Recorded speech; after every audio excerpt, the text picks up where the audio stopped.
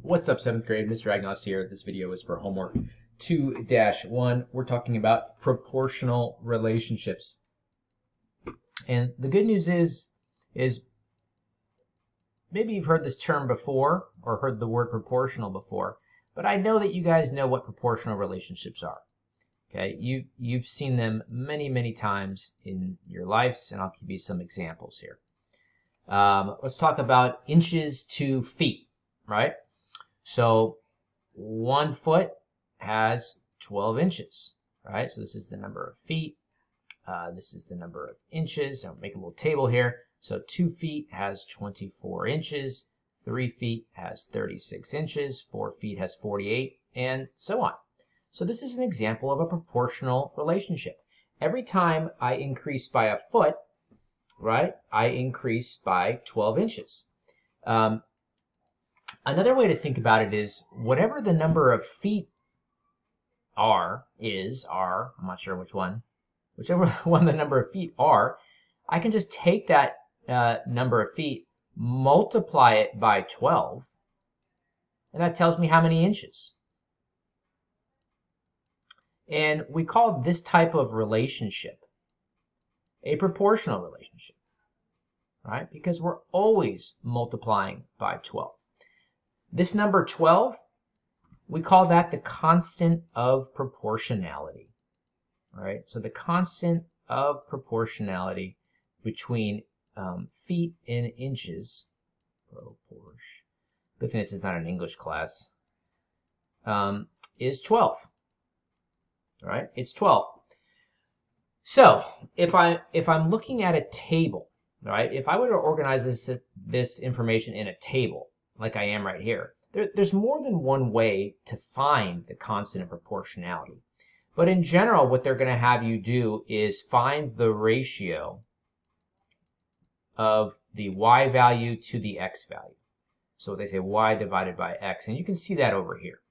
So instead of multiplying to go to the right, what this ratio does is it divides, right, to go this direction. So I would say, well, what's what's 12 divided by 1, right? 12 inches divided by 1, um, that's equal to 12, right, which is our constant of proportionality.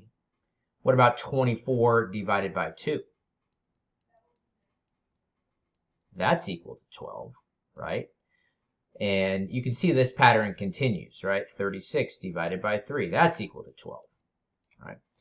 So there are different ways to find the constant of proportionality. It just kind of it just kind of uh, depends on how they give you the information, right? Um, if this number were not the same every time, then we would not have a proportional relationship right? Like if the first foot had 12 inches, but then the second foot only had five inches, and the third foot only had eight inches, right? That that that would be crazy. That's what we call a non-proportional relationship. it doesn't always. We don't have a constant of proportionality. So we're going to see some examples of that too. Um, all right, so let's take a look at this table here. They've actually made this the first couple um, ridiculously easy. It says the table shows a proportional relationship. So the first thing that we need to recognize here is they tell us that this is in fact a proportional relationship. Um, complete the table, right? So what they want us to do is find um, all these little question marks by using the ratio of y to x.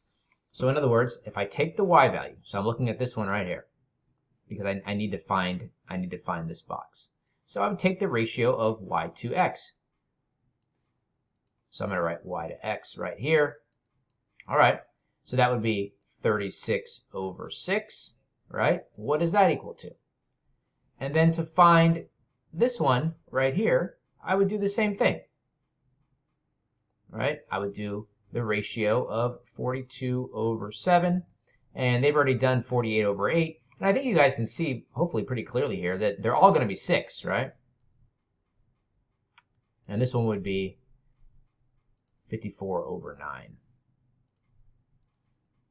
Right, y over x is 54 over 9. Excuse me. Now, we, go, we knew going in that this was already a proportional relationship. Um, but th- this is more just like, hey, let's, let's they're, they're just showing you. This is They're giving you an example. So 36, remember a fraction bar means division. 36 divided by 6 is 6. 42 divided by 7 is 6. 54 divided by 9 is 6, right? So our, our ratio of y to x, they have 6 over 1 here. Um, you can The computer will accept 6 over 1 or it'll accept um, 6. If you put in, if I were to put in 12 over 2, okay, 12 over 2. This is also equal to 6, but it's not simplified, right? So this is also equal to 6, but it's not simplified. So it's going to tell me that my answer is correct, but it's in the wrong form. So this one is 6 as well. Check answer. Got it. And you can see that, okay, so 6 is what we call our constant of proportionality, right? When you calculate y over x, you're calculating the constant of proportionality. And that just means that whatever your x value is, right here, multiply it by 6 right? So I'm going to say times 6, times 6, times 6, right? And you'll always get your y value. Um, something that has a constant of proportionality of 6 is touchdowns, right? If I were to make a table of touchdowns to points, one touchdown is worth six points. We're kind of we're ignoring the extra point, right? That's a that's a separate play. Two touchdowns is worth 12 points. Three touchdowns is worth uh, 18 points. Four touchdowns is worth 24 points, and so on. Right? So touchdowns to points is an example of something that has a is a, that is a proportional relationship, and it just happens to have a constant of proportionality of six. All right, so let's let's uh let's keep moving here. All right, so number three, um, they don't tell us right? It says decide whether it shows a proportional relationship. So in order for this to be proportional, there has to be a constant of proportionality, right? We have to calculate the ratio of y to x, right? For each one of these and see, is it the same number? So y to x, I have 8 over 4. Well, that's equal to 2, right? 8 divided by 4 is 2. I have 10 over 5.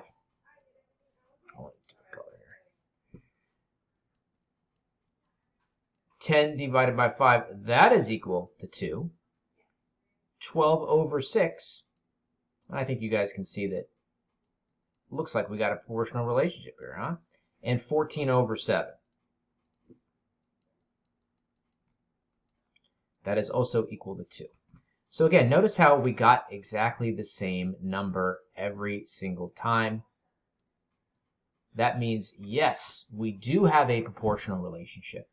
I can take whatever the x value is, multiply it by 2, so I say times 2, and that'll give me the y value. So times 2, every single time. If these numbers happen to be different, that would mean we did not have a proportional relationship. So the table does show a proportional relationship, and the constant of proportionality is 2.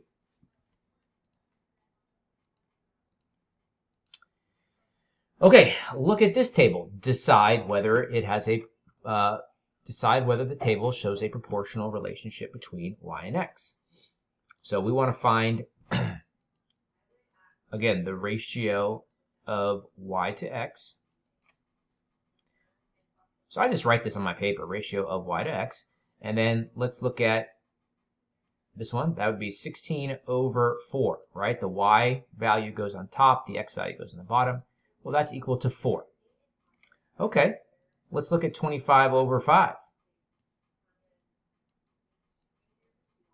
25 divided by 5 is equal to 5. So right away, we have two different numbers here, right? If this was a proportional relationship, I would have gotten a 4 again, but I didn't. And I'll just do one more. So at, at this point, we know that it's not, but I just want to show you. If I do y over x in this situation, I have 36 over 6, which is equal to 6. So I'm getting a different number every single time. So this is an this this would be like if every time I scored a touchdown, I got a different number of points. The first time I got four points, and the second time I got five points, and the third time I got six points. This is an example of uh, something that is not a proportional relationship. So this does not show a proportional relationship.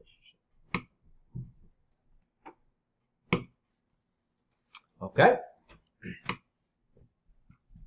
All right, this is this is the last one I'm going to do here. Um, if you look at this table right here, you'll notice you don't see X and Y anywhere. All right, you see seeds and ounces and the area covered in feet. So they're spreading out seeds in a garden.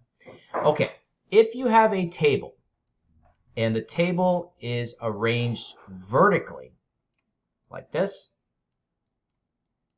then the x coordinates or the x values are always in the left hand side and the y values are always on the right hand side. So for this table right here, these are my x's going down this way and these are my y's. So when I that's important for when I go to calculate right the ratio of y over x, right? We always want to calculate the ratio of y over x. This tells us our constant of proportionality if there is one. If the table is arranged horizontally, like this, then the x values are always on top and the y values are always on the bottom. Okay, but we still we still want to calculate the constant of proportionality by figuring out the ratio of y over x. So again, in this situation, this is a vertical table. So my x's are here on the left and my y values are here on the right.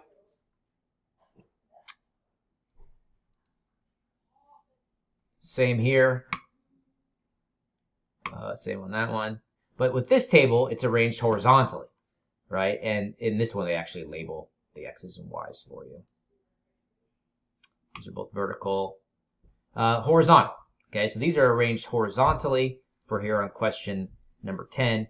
So that means the number of eggs is going to be our x values and the cups of milk would be our y values. Okay, so the idea behind a proportional relationship is there's this thing called a constant of proportionality. And I think the best way to understand that is, again, an example. Uh, feet to inches right? It's always 12 inches for every foot. So if I have one foot, 12 inches. Two feet, 24 inches, right? It's always that same. If something is not proportional, it would be like the first foot is 12 inches, but then the second foot is only 8 inches, and the third foot is 15 inches. Like it's just, it, it, it changes every time, right? And that's a, that's a real thing. It's just non-proportional, right? So what we're focusing on in this unit is proportional relationships, right? Points for every touchdown um, is a great example, right? You get six points for every touchdown, 12 inches for every foot. Um, let's see, uh, three feet for every yard, right? So there's a there's a proportional relationship between yards and feet. One yard, three feet. Two yards, six feet, and so on. Okay, as always, these videos are meant to get you started, but what's really important is that you are engaged in asking questions in class. All right, I'll see you guys soon.